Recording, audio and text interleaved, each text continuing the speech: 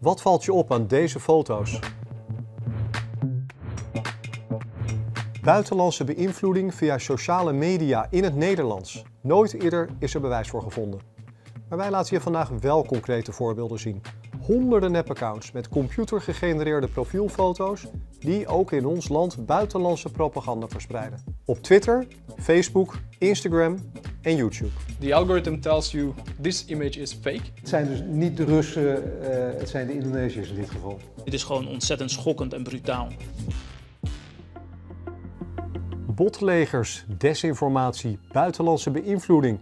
Eerst even, waar hebben we het eigenlijk over? Botaccounts zijn eigenlijk gewoon nep-accounts op sociale media. Computergestuurde accounts kunnen op commando berichten delen en liken. Die nep-accounts zijn vaak moeilijk te onderscheiden van echte gebruikers. Profielfoto's lijken levensecht en ze gebruiken hele normale zinnen. Die bots worden gemaakt om een bepaalde invloed uit te oefenen door bijvoorbeeld desinformatie te verspreiden. Nu is er dus voor het eerst bewijs dat zulke botlegers ook in Nederland actief zijn.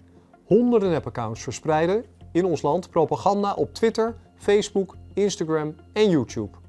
Peter Burger van de Universiteit Leiden stuitte op die botlegers tijdens een zoektocht naar nepnieuws op sociale media. Dit is een van de eerste accounts die ik tegenkwam en waardoor ik ontdekte dat er echt iets, iets heel raars aan de hand was. Sophie Zweerse, het klinkt super Nederlands. Het zou een Nederlandse vrouw kunnen zijn. Maar als je dan gaat zoeken, dan blijkt dat die naam Zweerse uh, helemaal niet meer voorkomt in Nederland. Toen zag ik op een gegeven moment bericht voorbij komen over uh, ja, fake news over West-Papua. Uh, ik ben daar eens naar gaan kijken en toen bleek dat, het account, dat, dat, ja, dat die waarschuwing verstuurde zelf nep was. Drie verschillende accounts die een minuut na elkaar precies hetzelfde bericht posten. Hetzelfde plaatje, hetzelfde tekst. Ze volgen allemaal elkaar. Het gaat om een stuk of uh, in ieder geval 400 accounts op Twitter, op Facebook, op Instagram en op YouTube.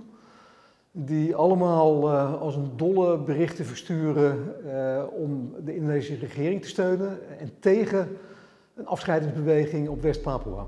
Het botleger dat in Nederland dus flink actief is, komt niet uit Rusland, maar uit Indonesië. Klinkt misschien wat willekeurig, maar het heeft alles te maken met de strijd die West-Papua al ruim een halve eeuw voert voor afscheiding van Indonesië. De regering in Jakarta slaat de demonstraties van die Papua's hard neer. De botlegers die hier in Nederland actief zijn verspreiden informatie ten gunste van de Indonesische regering. Die wil volgend jaar de zogenaamde autonomiewet verlengen. En de bots moeten erin rammen dat die speciale autonomie de beste oplossing is. Iemand die vanuit Nederland juist strijdt voor een onafhankelijk West-Papua is Raki Ab. Ik ging bij hem langs en toonde hem de nep-accounts. In het Nederlands ook. Oké, Papua gewapende separatistische groep heeft altijd terreur verspreid in Papua. Ze hebben immigranten en zelfs Papua's vermoord.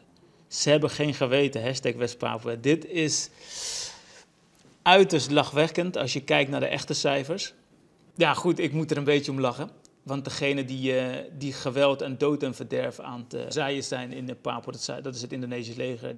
Ze hebben goed nagedacht over de boodschap. Uh, wat ze erin hameren in bijna ieder bericht, dat is uh, Papua moet niet onafhankelijk worden, maar Papua mag wel speciaal autonoom zijn. Hè? Dus die speciale autonomie die komt keer op keer op keer op keer, echt, echt duizenden keren achter elkaar terug. Een tweet van een zogenaamde Sophie Sweersen. De regering heeft veel speciale doorbraken gemaakt voor het Papua-team onder leiding van vicepresident Maruf Amin. Het klinkt een beetje stijfjes als een ja, een ambtelijke of een politieke toespraak. Niet echt uh, het taalgebruik wat je zou verwachten van echte mensen op sociale media. De botaccounts posten in het Indonesisch, Duits, Engels en Nederlands. Wij lieten het netwerk op Twitter in kaart brengen om te zien hoe groot het is. Op het platform zijn sinds juni bijna 200 nep-accounts gemaakt. Daarvan tweeten er 72 in het Nederlands. De accounts hebben bijna 45.000 tweets geplaatst. Ongeveer een kwart daarvan, 12.000, waren ook weer in het Nederlands. Kleine geruststelling, de impact van het botleger lijkt gering. Want alle bots bij elkaar genereerden op Twitter nog geen 35.000 interacties, dus shares en likes. Het heeft betrekkelijk weinig bereik, maar het is wel duidelijk dat er uh, ja, toch ook professioneel aan gewerkt is. Het moet vertaald worden. Het zijn berichten in het uh, Indonesisch, maar ook in het Nederlands, Duits en Engels. Er is een enorme vracht aan beeld voor geproduceerd. Er zijn video's voor gemaakt. ja, dat kost wat. De profielen lijken op het eerste oog westers, maar gek genoeg stort hun activiteit in als het hier dag is en in Indonesië nacht. Niet vreemd, want bijna 70% van de tweets blijkt van servers in Papua en andere delen van Indonesië te komen. Maar de bots lijken wel succesvol in het kapen van hashtags, zoals Free West Papua. Als iemand op die hashtag zoekt, dan komen ze dus bij propaganda in plaats van bij betrouwbare tweets. In een wereld waarbij er heel veel stilte is en onbekendheid is over Papua, is elk tweet een zorgwekkende. Want als het ook maar één persoon bereikt, dan kan die persoon het voor waarheid aannemen. Omdat er voor de rest geen andere informatie ter beschikking is over de werkelijke situatie in Papua. En, en, daarvoor vind ik het zorgwekkend en vind ik dit absoluut ongewenst. En dan is er nog iets. Weer even terug naar deze foto's. Was jou er iets aan opgevallen? Misschien op het eerste oog niks geks, maar ze hebben één ding gemeen. Het zijn allemaal niet bestaande mensen. De foto's zijn door computers gecreëerd en dat is relatief nieuw, iets van het afgelopen jaar. Volgens mij is het een, eh, een primeurtje voor Nederland. Uh, een groot deel van die accounts die hebben gezichten die niet bestaan. Hè? Synthetische gezichten die uit de computer komen. Het Amsterdamse bedrijf 3D Universum maakt software voor het creëren van computergegenereerde foto's. Om zo te leren hoe ze deze nepfoto's al kunnen herkennen. We lieten het bedrijf de profielfoto's van het Indonesische botleger analyseren. You just right click on the image and check with the uh, software that the algorithm tells you this image is fake. There were 100 accounts that was shared with us. 35% uh, was AI algorithm generated. Andere profielen zijn gestolen, gefotoshopt of hebben geen foto. Nou, kijk, met deze software kunnen we zelf foto's genereren. We kunnen die foto's net een beetje aanpassen. Dus wat jonger, wat ander haar, wat uh, breder, wat smaller. Als we zelf even beter kijken naar die foto's, zien we dat ze niet allemaal even goed gemaakt zijn. En bijvoorbeeld deze, uh, je ziet het niet meteen, maar als je goed kijkt, dan zie je hij heeft twee verschillende overhemden aan. Eén oorbel, waar je er twee zou verwachten. Sommige van die foto's die zijn echt eng. Deze man heeft een soort, soort rare vergroeiing aan zijn lip hangen. If these people are creating such accounts, why they don't pay a little bit more attention to create more realistic? But that's the question that um, um, we don't know. Wat het bijzonder is van deze campagne voor mij, dat is dat dit nu uh, eigenlijk, zou ik zeggen, eindelijk is uh, waar al zo lang naar gezocht werd. Namelijk beïnvloeding vanuit het buitenland in het Nederlands met een politiek doel.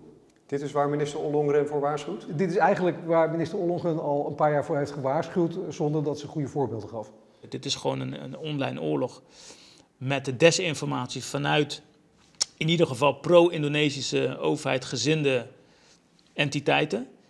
Die deze informatie de wereld inslingeren, maar niet alleen in Indonesië, maar dus ook actief op het Nederlands publiek. Ik zie hier eh, één partij die hier belang bij heeft.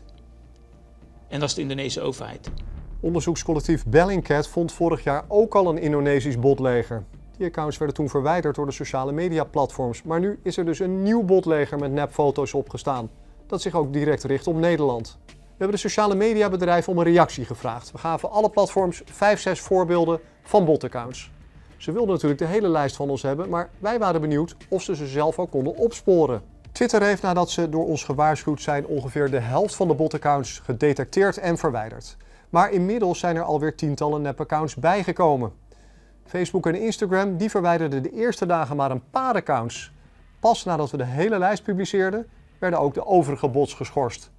YouTube deed dagenlang niets. De platforms lijken dus niet allemaal even goed in staat de nepaccounts zelf op te sporen. Wel zeggen ze allemaal meer onderzoek te doen. 3D Universum verwacht wel dat botaccounts snel geloofwaardiger zullen worden.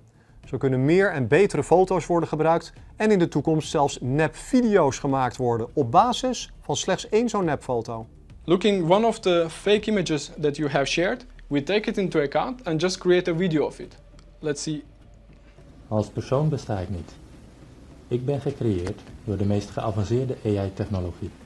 They actually will be speaking by themselves like a selfie picture just from a single image. And that's where we actually will lose the credibility of believing what we see.